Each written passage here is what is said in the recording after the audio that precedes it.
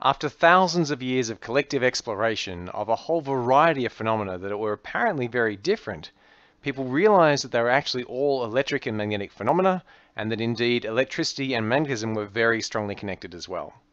They realized it was all based on charge, that charges made electric fields, and electric fields applied forces to charges. They realized that moving charges made magnetic fields, and magnetic fields applied forces to moving charges. And Faraday found also that changing magnetic fields would make an electric field. And then James Clerk Maxwell got all the data that everyone else had collected and all the laws they'd discovered and tried to make one integrated theory for electromagnetism. So we should adjust our summary here. We know the electric fields are made by charges and changing B fields. Remember, Faraday discovered this experimentally, but we motivated it by thinking about what would happen if we had a moving coil and a stable magnet, or a moving magnet and a stable coil. And we thought they should do the same thing. And so we discovered there was actually a problem with electromagnetism the way it was.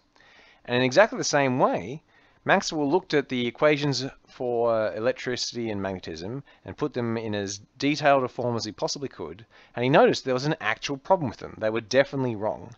And in fixing that problem, what he did was he added the fact that magnetic fields could also be made by changing electric fields. And this had the effect of restoring the symmetry to electromagnetism, and it made the theory actually self-consistent.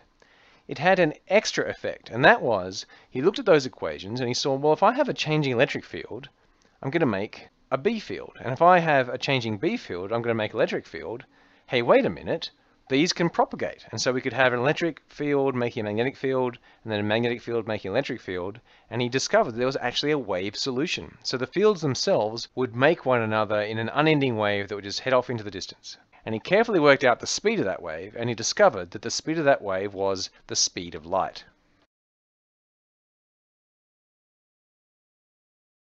Now, of course, that wasn't a coincidence, and Maxwell was smart enough to realize that.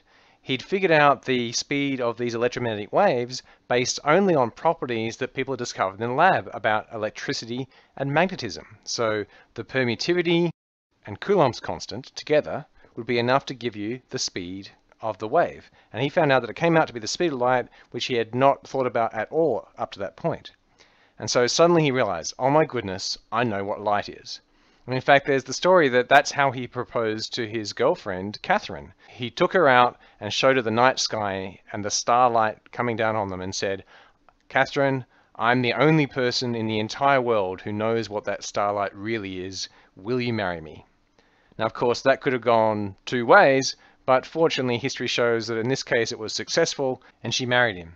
His revised theory of electromagnetism was also unbelievably successful. It explained the existence and nature of visible light, infrared radiation, X-rays, and more, showing how they were all the same thing.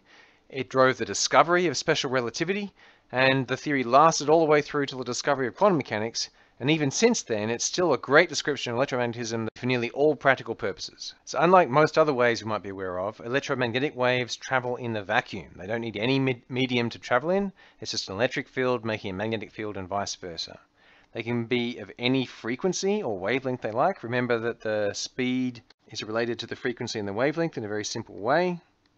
And so the speed of all electromagnetic waves is the speed of light but they can have any frequency, and then once you know the frequency, you get a wavelength or vice versa.